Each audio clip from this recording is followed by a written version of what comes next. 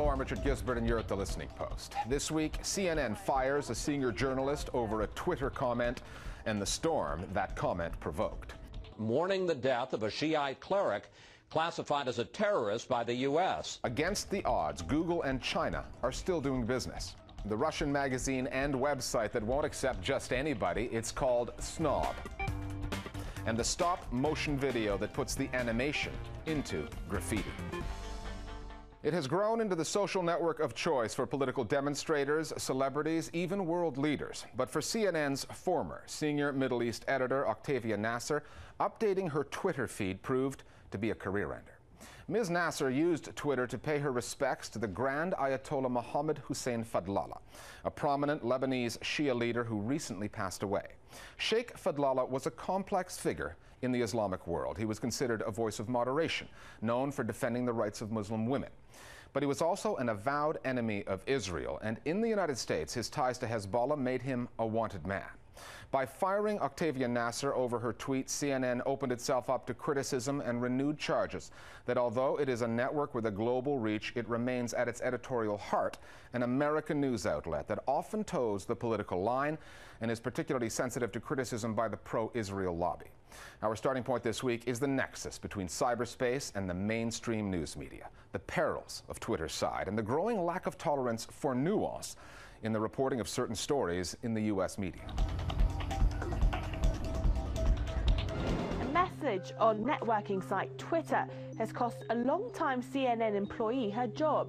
Octavia Nasr said something that offended the wrong people, and that's what got her fired. So is the liberal media not so liberal after all? It is such uh, an, an, egregious, a blatant case of hypocrisy uh, and double standards. She posted a message on her Twitter account mourning the death of a Shiite cleric classified as a terrorist by the U.S. There have been a lot of people who say, what, this is just ridiculous. People who demonstrated, remember, the case against Octavia Nasr, a Lebanese-born journalist who had been with CNN for 20 years, started with this Twitter message.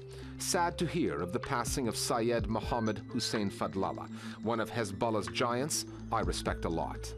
I think the cautionary tale here is that she said exactly the kind of thing that you can't say in American media and paid the, the price for it.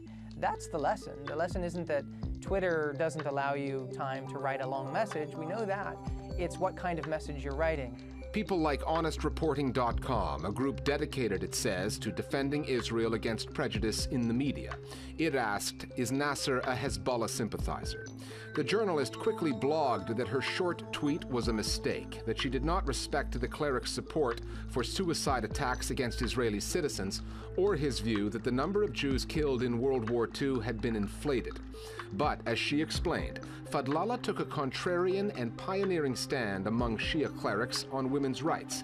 He called for the abolition of the tribal system of honor killing.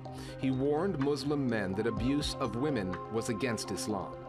The blog offered the kind of nuanced explanation that Nasr's Twitter message lacked. But by this time, Fox News and other right-wing and pro-Israel organizations were on the story.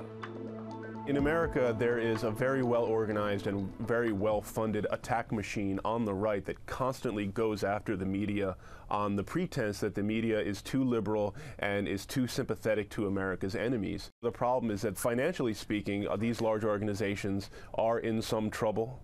Uh, they have been for a long time, so they are especially sensitive to these kinds of charges of bias uh, wherever they come from.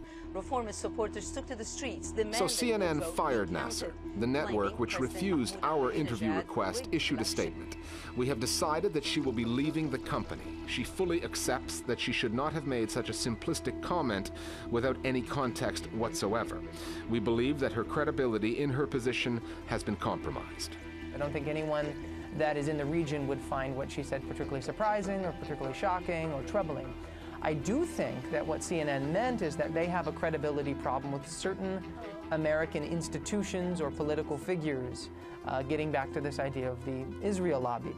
That's the credibility problem that CNN's talking about. I would be careful about making this an issue just about Israel. This has to do more with a faction in the United States uh, that is very committed to this notion of a, a, war of civilizations. They're just not inclined to see someone like Saeed Fadlallah as a complicated figure. which he clearly was, and that was Ms. Nasr's real sin, was offering this picture of uh, Saeed Fadlallah that, that recognized that he was a complicated figure. This is part of the, the problem with American media, the inability of the United States media to deal with the nuances of realities in our region here in the Arab world, where you can look at somebody like Fadlallah and say 99% of what he did was extraordinarily humanitarian. And one dimension of his life was that he also supported the resistance against the Israeli occupation of South Lebanon. And in the mainstream American media, that disqualifies him.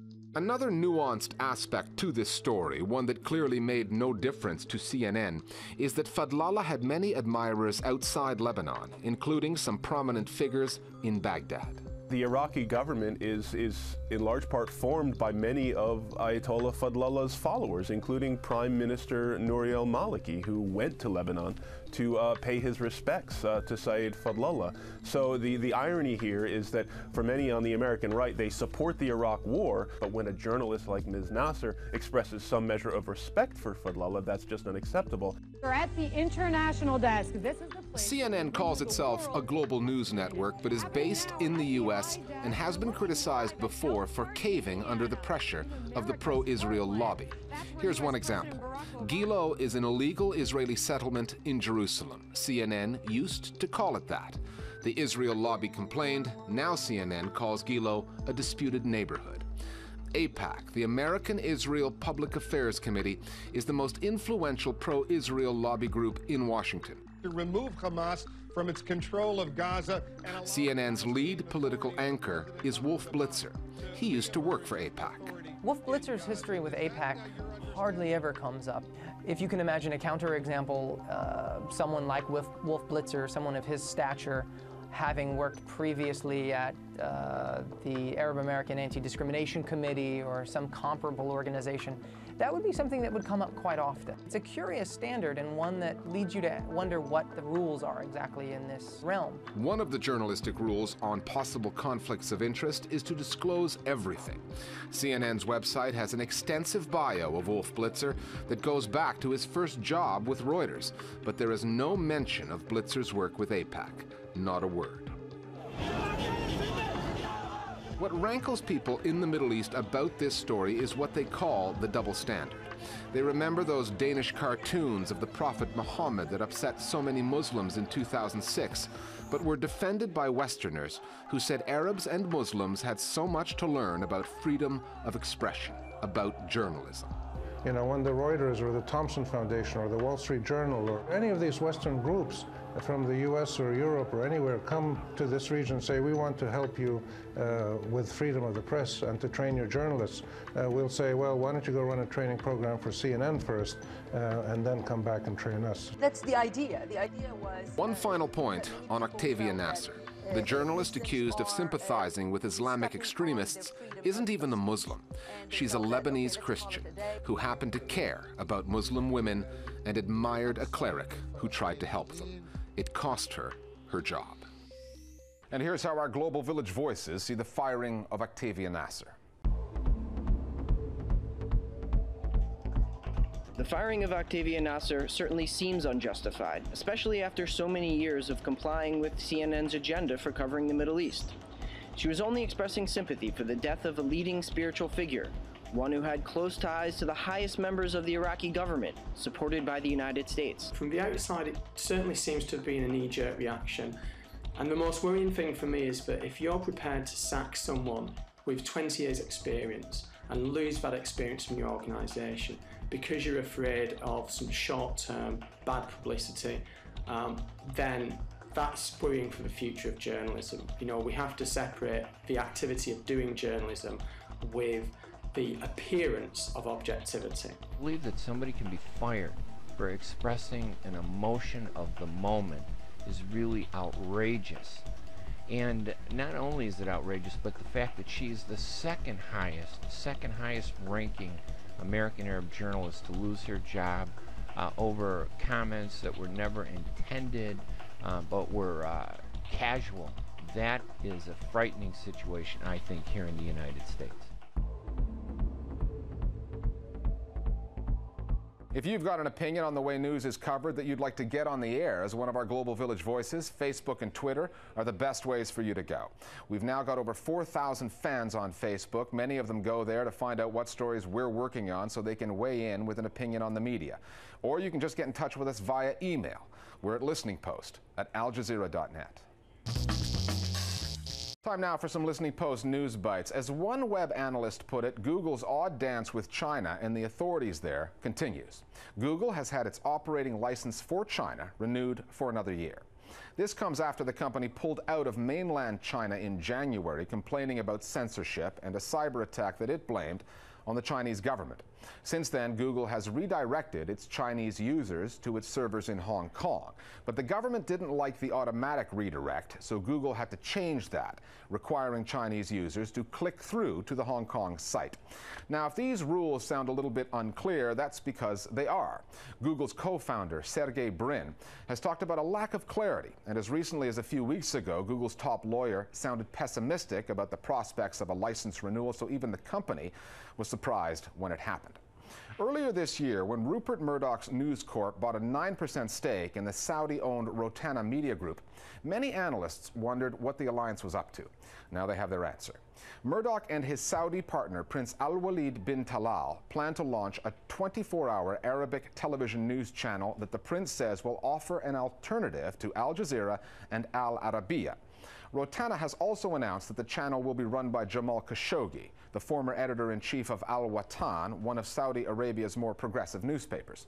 It's going to be interesting to see if Khashoggi will be given the editorial independence from Rotana that published reports have said that he has been promised, given that the channel says it will be reporting on Saudi issues and is being bankrolled by a member of the royal family. But money shouldn't be a problem, although the prince is said to have seen his fortune dwindle. Forbes magazine still calls him the 19th richest person in the world with a net worth of just under $20 billion. French President Nicolas Sarkozy has made a habit of trying to exercise control over television and newspapers. Now he might want to turn his attention to the World Wide Web. Sarkozy is fighting allegations that came to light on a site called Mediapart that he accepted an illegal donation of 150,000 euros from the heiress to the L'Oreal fortune, Liliane Bettencourt. The story has become a sensation in France and has been covered extensively in the mainstream media. Mediapart is an interesting site. It was formed by four former journalists from one of France's best known newspapers, Le Monde. The site runs no advertising and relies on charging subscribers around $10 per month. Mediapart says this story has boosted its subscription numbers, and the site now predicts it will do what few news sites do it will be profitable by 2012. The new coalition government in the UK is following in the baby steps of the former Labour government. It's pledging to reform Britain's archaic and punitive libel laws. Lord McNally, the new Justice Minister, says more consultations are needed, but the country can expect to see new legislation early in 2011 that he says will protect freedom of expression. British libel laws are popular with celebrities, oil companies, just about anybody with a lot of money and a reputation to defend. Journalists, academics, and scientists have all complained that even if their work is focused elsewhere or published overseas, cases are often brought against them in Britain because the existing libel laws are tilted against freedom of expression. They'll welcome this new law, but they wish that the government would just hurry up. We're back after the break with a piece on where some Russian gazillionaires like to go online.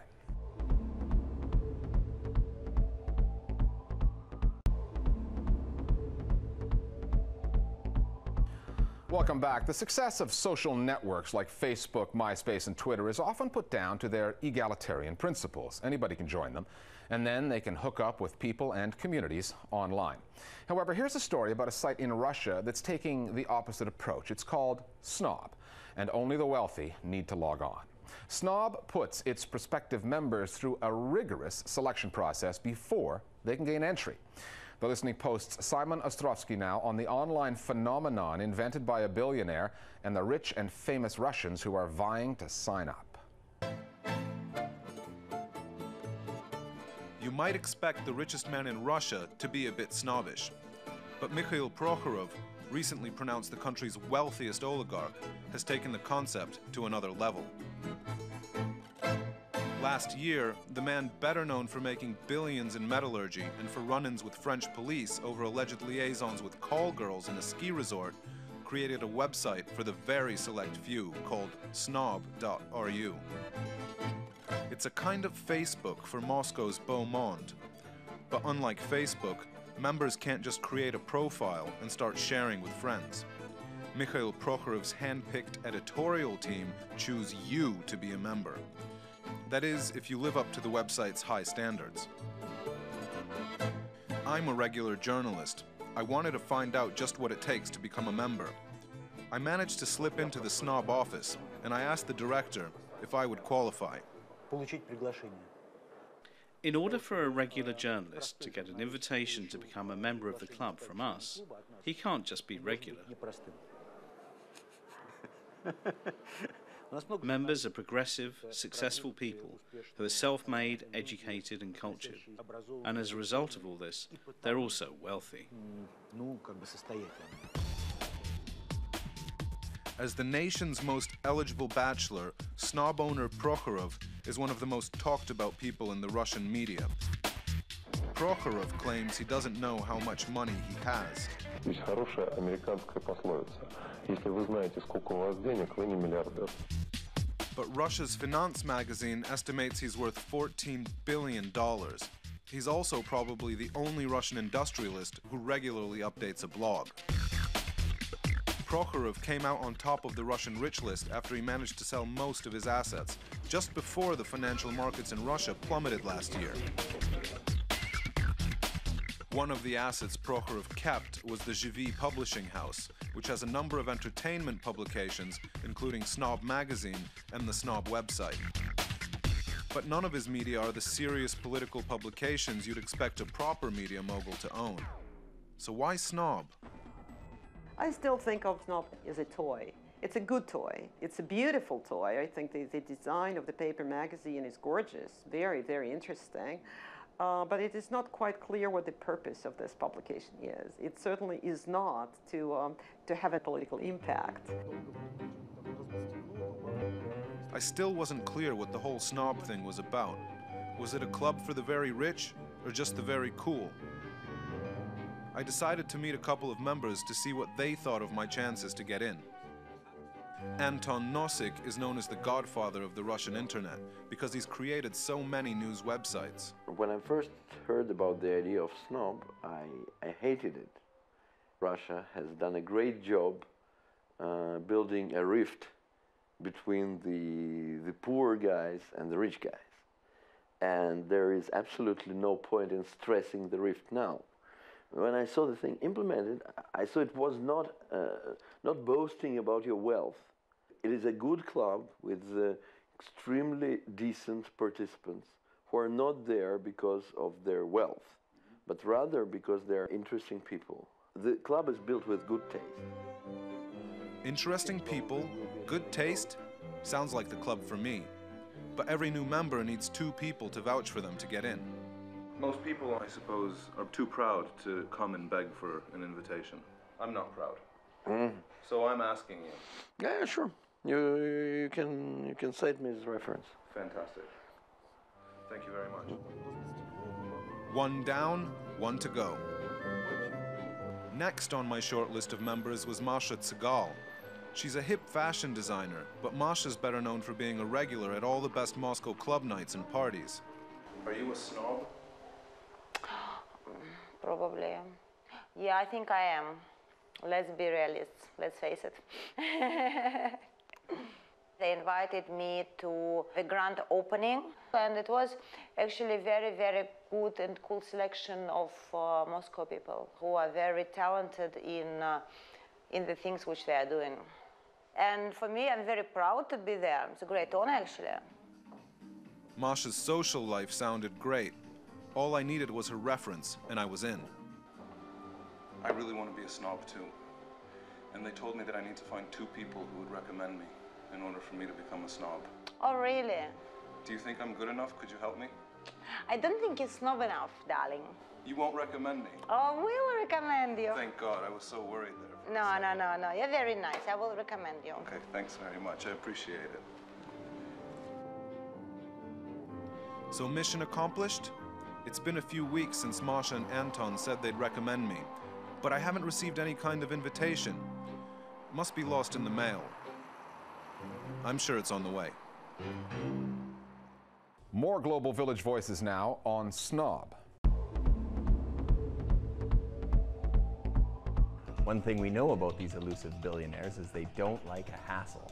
So why not create an invite-only virtual club like all the famous private clubs of yore? One that is only akin to Facebook the way caviar is akin to grilled sturgeon. On top, exclusive niche is one of the best established business models in online media. Target, service, commercialize. It's easy. I'm already working on an interactive Butler app. Finally, ever tried to create stop motion video? It can be a laborious, pain, pain, painstaking process. It takes time, time, time to edit. So we have nothing but respect for an artist who calls himself Blu.